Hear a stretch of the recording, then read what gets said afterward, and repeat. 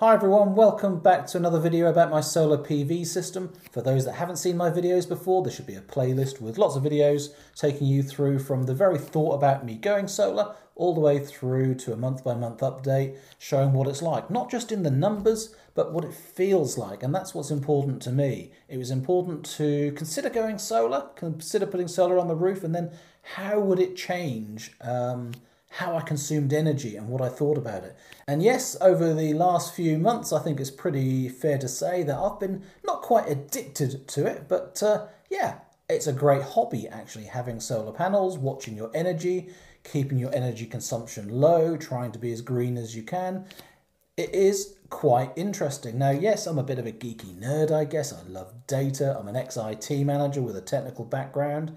Um, I do like the data, so it appeals to me. But equally, if you've got solar panels on your roof, you can just switch off and you can just let them do their thing. You just have it configured how you want to.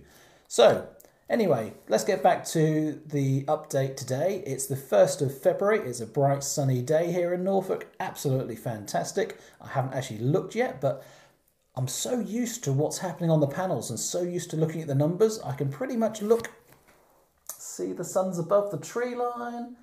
That's probably three kilowatts. We've probably got three kilowatts coming through. In the next hour, if the sun stays like that, it'll probably be four, maybe four and a half kilowatts. It's when you watch the data that much, you do actually get to know what's going on just looking at the weather. You can guess how many watts or kilowatts you've got coming through.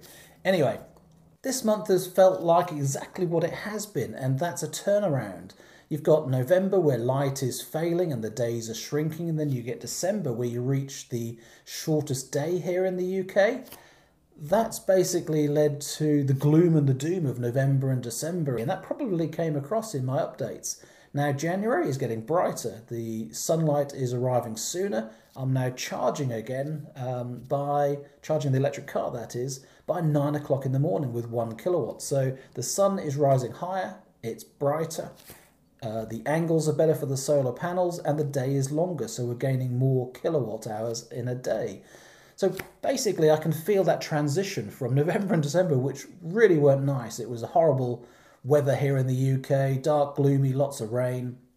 And I generated, uh, let's say, 200 kilowatt hours in November and December. And lo and behold, we've actually generated the same pretty much in January. There's not a lot of difference between the three months. But January has felt very different. It's felt more positive. Now, maybe I suffer from that SAD syndrome of seasonal disorder with lack of sunlight. And with the now longer days, it's starting to feel brighter, brighter in myself, let alone actually in the skies. Equally, I can say if you look back at last year, then February was an incredible month with just our initial solar array of 3.9 kilowatts. We had uh, 260 odd kilowatt hours generated. That's nearly twice what we generated in either November, December, or January. So February last year was an incredible month.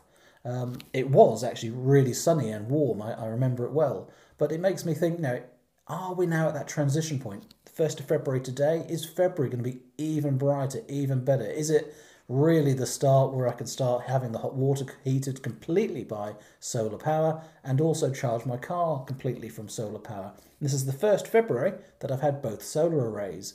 Last February, I only had the 3.9 kilowatt array. Now we've got a total of 6.3.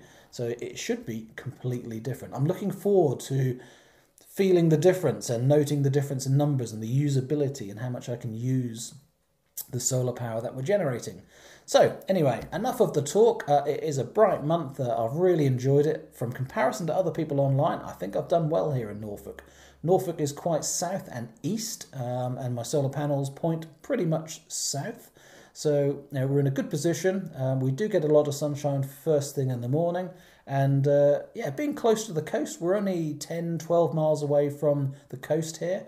It's it's quite good. It seems to be um, that the weather either goes across the sea, across the channel, or more inland, and we do seem to get quite a few breaks in the cloud here.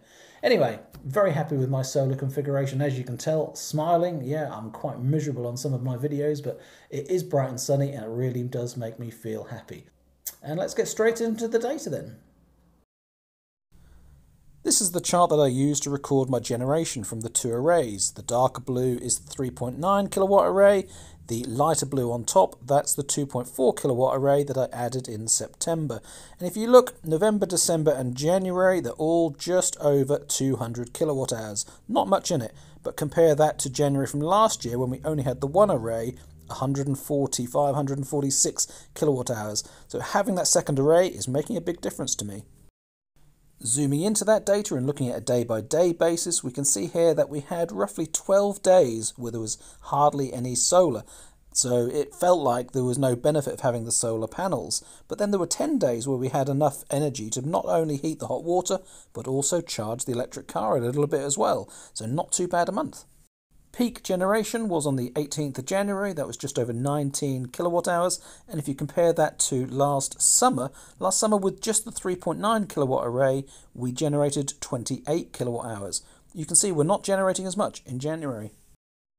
Although the Myenergi app isn't the most accurate, this is a good indication that uh, looking at consumed generation and exported generation, then I'm actually consuming around 92-93% of what I'm generating. That's pretty good. According to Myenergi, I imported 174 kilowatt hours from the grid, but according to the smart meter I have, that shows 151 kilowatt hours for the month. But the Solar Edge inverter says 161 kilowatt hours, and finally my meters actually said 156. So you can see they're all within, what, 5 kilowatt hours. For the entire month, I've only exported 20.6 kilowatt hours according to this. And if you look at the bottom graph, there are lots of days there where I didn't export anything or hardly anything at all. So if I had a storage battery, I wouldn't be able to gain that much, not in these winter months. So where did we use all of that energy? Well, 75 kilowatt hours went through our solar diverter, our Eddi device, to heat our hot water. Another 77 kilowatt hours went into charging our Kona Electric through our Zappi device. That left 44.5 kilowatt hours that we drew from the grid to charge our electric car. That's about £6 in cost of electricity from the grid, and we travelled 902 miles for the month. That's less than one pence a mile. Plugging those numbers into my main chart, we can see in orange generation is up slightly. In the blue bars, our grid import is uh, down to the same sort of level as November. Car charging in green is down, but that's because we left the car at the end of the month on a low state of charge. So if we started at a higher state of charge, then we've got some kilowatt hours stored away in there. And hot water, yeah, we didn't put quite as much into that this month as last month either. So number-wise, nothing to get excited about, I guess. But still, and yet, January still felt much brighter and much better. So it is all in the mind, isn't it? It's not necessarily just in the technical numbers. For those that are interested, this is the data from my Solis inverter from the 3.9 kilowatt array. We generated 146.1 kilowatt hours for the month just from that array. It's slightly more basic data as well from this Solis inverter.